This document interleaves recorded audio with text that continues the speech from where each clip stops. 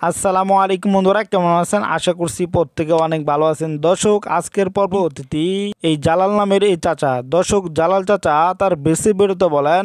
আমার বাবার নাম হচ্ছে শেখ আহমেদ। দর্শক, তার মায়ের নাম বলেছেন জরিনা বিবি। দর্শক তার নানার বাড়ির ঠিকানা বলেছেন ফেনীতে। হ্যাঁ দর্শক জালাল চাচা আরও বলেন আমরা ভাই বোনের সংখ্যা চার। হ্যাঁ দর্শক তার ভাই বোনদের নাম বলেছেন রাইনা বেগম আব্দুল রহমান আজিজুল ও তিনি হচ্ছেন জালাল। দর্শক জালাল চাচা আরও বলেন আমি যে মাদ্রাসায় পড়েছি ওই মাদ্রাসার নাম ছিল ফরাজি কান্দি এতিমখানা। হ্যাঁ দর্শক এখানে আরও বলেছেন নানার বাড়ির দিকে সেই মাদ্রাসা ছিল। হ্যাঁ দর্শক এখানে আরও বলেছেন নানার ব্যবসা ফেনীতে। আমার নাম সিরাজ। দর্শক জালাল চাচা আরও বলেন মাদ্রাসা ছুটি হওয়ায় তাদের মাদ্রাসার এক ছেলের সাথে পানিপথে চাঁদপুর হয়ে কমলাপুর রেল স্টেশনে এসেছিলেন এই জালাল নামের এই চাচা।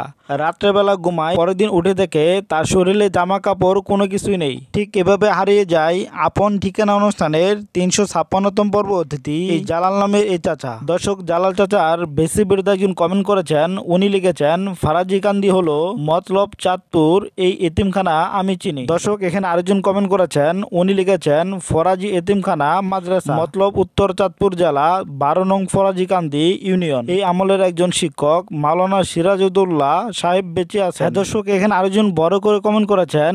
উনি লিখেছেন ফরাজিকান্দি এতিমখানা মাদ্রাসা মতলব উত্তর চাঁদপুর জেলা বারো নং ফরাজিকান্দি ইউনিয়ন। এই আমলের একজন শিক্ষক মাওলানা সিরাজউদ্দৌল্লাহ সাহেব বেঁচে আছেন। খুব পরিচিত বিখ্যাত মাদ্রাসা এটি।